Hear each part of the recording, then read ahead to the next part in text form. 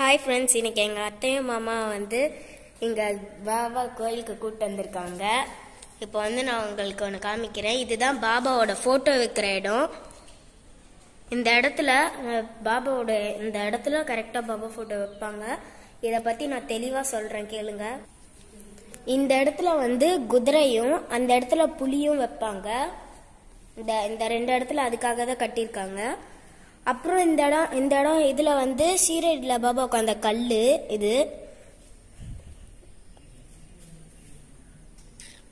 இந்த இடத்துல தான் ஃபோட்டோ வைப்பாங்க. இங்கே இருக்கிற இந்த இதை எடுத்து அந்த இடத்துல ஃப்ரேம் வச்சு அதுக்குள்ளே ஃபோட்டோ வச்சிரு. அப்புறம் இந்த கதவுல கண்ணாடி போட்டு விட்டுருவாங்க. இந்த கதவுல கண்ணாடி அப்புறம் இங்கே ஃபுல்லாக கண்ணாடி போட்டுருவாங்க.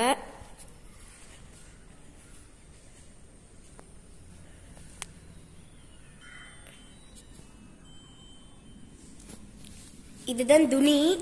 இந்த இடத்துல தான் வந்து இந்த மாதிரி துதிலாம் ரெடி பண்ணுவாங்க. இது துணிக்கு கைப்பிடிலாம் வச்சுட்டாங்க.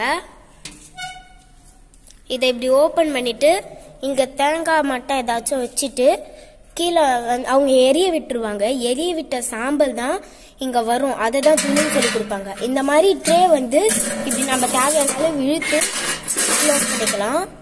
இந்த மாதிரி தேவையானாலும் இழுத்து க்ளோஸ் பண்ணிக்கலாம். ஓரளவு துணி வேலை முடிஞ்சிருச்சு.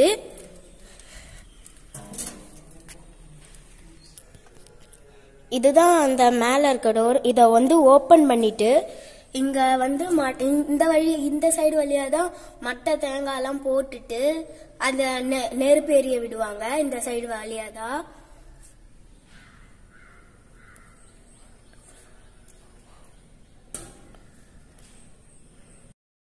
அடுத்த வாரம் வந்து இன்னொரு பாபா வருவாங்க. அந்த இன்னொரு பாபா அடுத்த பாபா வரும்போது நான் உங்களுக்கு அந்த வீடியோவில் காமிக்கிறேன்.